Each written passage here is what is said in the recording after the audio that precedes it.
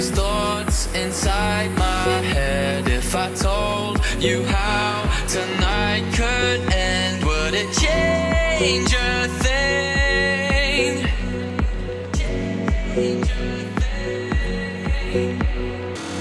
I've been up, I've been down, I've been all around. Another home game. Uh, this time we've got Kilmarnock at home. Obviously it's too early to figure out the team news, so we don't know the team news, but once we get it, we'll put it in the middle of the screen as normal. Right, last game was a disaster. Let's not have that, please. Yeah, let's not have that again. We've had um, transfer deadline day since, and we brought in McKirdy from Swindon, Fish to Man United, and some Ukrainian boy. Um, I can't remember how to pronounce his name. One Troyes, I think it is, in France. So we'll uh, we'll wait and see how it goes. We don't know. I would like to see McKirdy up front. Last week I was kind of having a wee gripe with Sean saying like we've just bought in 11, 12 players, more than that now, and yet eight of the, eight of the players last season who weren't good enough started. I think we need to start bringing in the new boys. Whether the projects or not, I don't care. They need to start playing games. Said this uh, on the way up. You need to, if you have a project, you need to experiment. Exactly. So we need to get them game time. So I'm hoping McKe- uh, Kenneh comes back in. I'm hoping McClellan comes in for handling at the back. Um, I would have Kenneh in for Doyle Hayes, and I'm happy if Melkersen goes up front now that Deutsch is gone. But I think I've put McKirdy on. The get go, yeah, no. Yeah. What do you think? Uh, honestly, if he can score goals at this point, Well, we needed a goal scorer. Yeah. We brought in a goal scorer. Well, apparently, I brought in a goal scorer, so why not give him a goal? Uh, so let's get to the nitty gritty of it. What do you think the score's going to be? Oof. I. The thing is, the head really wants to say because we we're definitely going to be missing Rocky in the back, so I do feel like we will struggle in defence, and likely even concede a goal. Teddy me wants to say two one. Realist me wants to say with the way things have been going right now, a one one draw is likely on the cards. But we'll go with the heavy version because everyone wants to go with the heavy version. I'm going with the heavy version. I'm quite confident today. I feel like last week was a kick in the stones for a lot of these players. Um, so I've got the feeling it's going to be 3 1 Hibs. That's, I, I genuinely feel that it's going to be a kick in the stones last week when they see not just the performance but the reaction of the fans. I think this uh, this is the week we're going to go back to winning ways.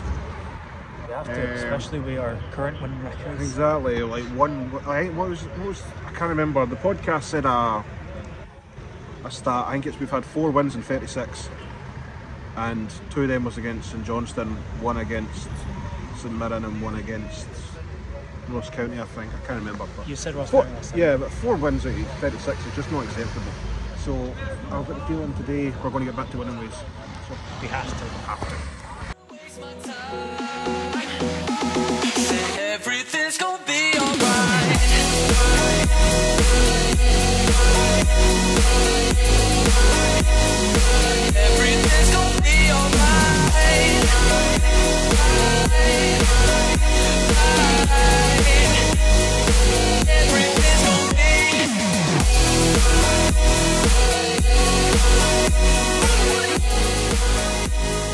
Won, Finally! battalion.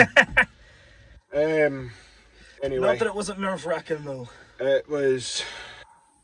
Do you know the first ten minutes we were all over them, and I thought this is this is going to be a rout, and if we keep going the way we're going, then um, obviously the boy got sent off. Quite rightly so. He was the last man. Boy was through on goal. Had, he had to go, uh, and then thankfully we scored from the resulting free kick with Newell. But uh, well, why don't we start before we get into the game? Like we've just spoke about the goal, which was a well taken goal, good goal. But um, what did you think of the team lineup when it came out? Um, I'm gonna be honest. I was a bit surprised to see that Ewan was in the middle. Yeah, I think that's where he might play, looking at when McKirdy came on. Because I'll be honest with you, there was a few people that had really poor games. Uh, Porteous, Gaines' passing was woeful today. Um, Henderson just didn't look interested. He didn't look like he wanted to be out there. Um, simply because it wasn't because he missed that chance. That's not it at all. It's the fact that when you saw him moving, he never got out of first gear. He like he was just jogging everywhere. He just. It's almost like he didn't want to be on the park. There was so, a moment where a ball was being passed to a Kilmarnock player from the goalkeeper. The Kilmarnock player didn't even know that he was there, and Yeah. he didn't. he literally could have. If he ran at full pace, he could have cut that off, and then there was an attack on. But anyway, think I was shouting for either two, one or two changes. I thought either Tavares was going to come on for him, or stick Ewan out in the left and put McKirdy in the middle. But it looks like McKirdy can play out on the left. Um, he looked a bit vibrant when he came on. Looked like he was he was up for it. Um, but overall, I don't think it was our best performance. I think we were um, We're definitely missing Rocky on defense. definitely missing Rocky on defence. I think um, that's a definite. I'm sli- even though we won today, I am worried at how disappointing we are in front of goal. Um, don't get me wrong. There's some chances that it, it's either a hit or a miss, but that chance at the end for Bojang, that should have been put away. There's there's no even any defending that. I know the boy doesn't have a lot of minutes under his belt, It was straight at but you're talking about he ran through on goal and he passed it to the goalkeeper. It wasn't that the goalkeeper had to make a save. Do you know what I mean? And he pulled one out the bag. He passed it to the goalkeeper, which was made it much more stressful than it needed to be. yes. The whole game was more stressful than it needed to be. Um, as soon as it went to ten men, for eighty minutes against ten men, the way we were playing in the first ten minutes, I thought we're going to run riot here, and then it just didn't. It just fizzled out. Um, I'm sick to the back teeth of Porteous trying to do these worldy passes. Stick to the bloody basics. Do you know what I mean? The amount of times he lost possession because he's trying stupid little things. But anyway, we'll no, we'll no beat around the bush too much. We won. Happy day, happy days. Uh, we have broke the little hoodoo. I know we've got a good record against Kilmarnock, but we have got a little bit. I think we spoke about it pre-match, where we've only won four games at the last 36. So to get a win is major. Uh, we go away to Dundee next week. Uh, Dundee rock bottom of the league, not won a game, This looking is- horrible. This is absolutely one we need to win. Yes, our away performances haven't been good, so we need to keep the momentum going. I did think last week would have gave them a kick up the backside, and it seems to have done. So, Think it would. What, what, what- do you agree with me on this, or am I being too harsh with Henderson? Do you think Henderson should get dropped next week? Because to me personally, I think Henderson should get dropped, and McKirdy uh, either put on the left or uh, Ewan put on the left and McCurdy through the middle. But as far as I'm concerned, until he bucks up his ideas, I would drop Henderson altogether. But I don't know if I'm being too harsh with that because it is the start of the season. But I just feel, I feel like he doesn't care when he's on that park. Um, okay. So, I would want McCarty on just because to get someone else and mix up the squad a bit. But I do agree because I sometimes I forgot Henderson was even on the pitch until he was just I saw him jogging next to the ball. So it seemed he would sort of just come and go, but he never really exploded and done every, anything spectacular to warrant him vanishing for good portions of the game. Yep. Um, no, I think um, I think he should. He needs to be dropped for the next game. It's just that simple. Glad Kenneh, Kenneh came on. I'm glad he got brought back in. Um, man of the match was Joe Newell. I don't think you can really pick out anybody else. Joe Newell was quite pivotal in the middle of the park. He done well. Um, I know that uh, Joe Newell's got a lot of haters out there. Some on the podcast that I've mentioned last week. Do you know what I mean? Um, and online. I don't mind Joe Newell. I think he just turns up when he wants to sometimes. Do you know what I mean? I think if he played to his best ability every week, I don't have a problem with him. But he's just too hot and cold at the moment. But I do think there is a player there. shown today. Do you know what I mean? He was he was fighting for the ball in the middle, so Yeah. all good. Just found an ant in my car. well, not anymore. Squished. But Just like Kilmarnock. Ah!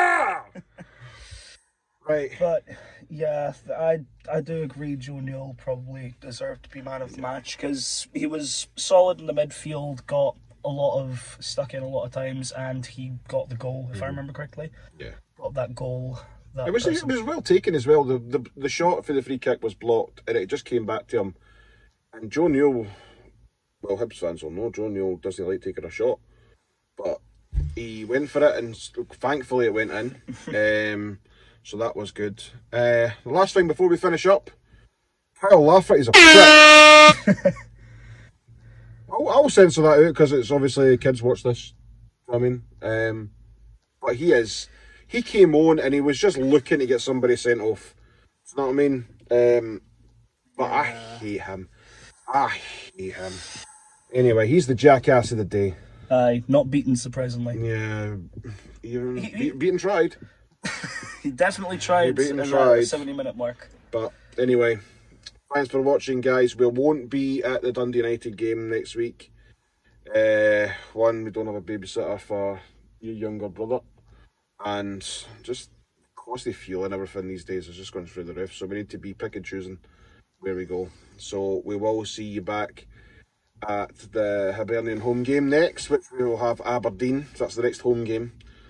So we won't be here for the Dundee United game, but hopefully we will go on and win that one. So We don't want to be the first people to lose to Dundee. we really bloody don't. Yeah, people make a habit. We make a habit of that. Do you know I mean? When somebody needs a win, play Hibs. That's just the way it goes. But hopefully we beat Dundee United next week. We're only three points away from the top three, so it's even though we're eighth, we're we're keeping the pressure. We're keeping the closeness. We didn't want to go too far in the distance. But anyway, one 0 Hibs, and on to the next one.